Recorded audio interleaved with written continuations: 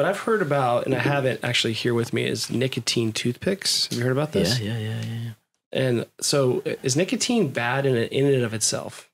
Nicotine isn't bad in and of itself by itself. Um, But cigarettes have tons of toxins. tons of toxins. Right. Nicotine, it's a stimulant for the brain. right. The most So addictive. can you can you go like is it is like what's worse, coffee or maybe a toothpick that has nicotine?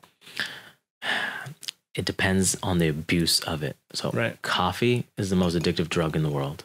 Ca- caffeine, right? Caffeine. Yeah. Caffeine. So everybody uses it. Right. You can exhaust your adrenals. Your adrenals secrete cortisol, secrete, secrete sex hormones. You can have adrenal fatigue. Adrenal fatigue can kind of just shut So down the you're trading a little bit of stimulant now for a problem later, right? potentially. But Unless you unless you you know maybe don't drink too much coffee, right? unless you don't drink too much coffee, and how do you can how do you control your caffeine intake over time? But there's going to be moments of your life you drink a lot of caffeine. There's going to be moments of your life you don't need any caffeine. Right. And uh, but caffeine isn't bad overall.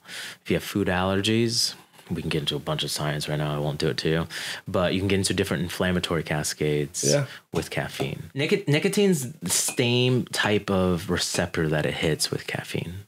So But a a, little it feels a little different though. it feels a little bit different. It's a little bit more of a stimulant to the brain. So it's a there's a MAO receptor. So it's Because like yeah, what I've read A about receptor. nicotine is is you know so many people have used it to like write books and to like focus and right so like is that it's the it stimulates you kind of like coffee like a lot of people mix coffee and nicotine right Yeah.